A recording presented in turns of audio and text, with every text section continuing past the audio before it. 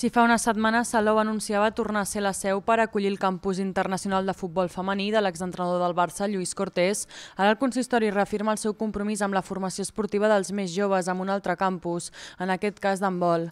Per primera vegada el municipi acollirà un campus d'aquesta modalitat a càrrec de la llegenda d'handbol del Club Laurana, Enric Massip. Aquest es desenvoluparà de l'1 al 6 de juliol i està destinat a infants i joves entre 8 i 17 anys. Durant sis dies els participants podran gaudir de diferents activitats d'oci, però també d'entrenaments especialitzats partits i xerrades tècniques a càrrec de professionals, tot plegat amb l'objectiu de formar els joves però també transmetre els valors d'aquest esport.